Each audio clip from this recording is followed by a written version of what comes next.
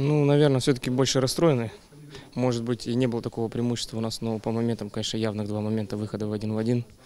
Реализовали, я думаю, что увезли бы три очка. Ну, будем работать, здесь начнем работать все-таки. Можем, в принципе, сказать, что удачно сыграли.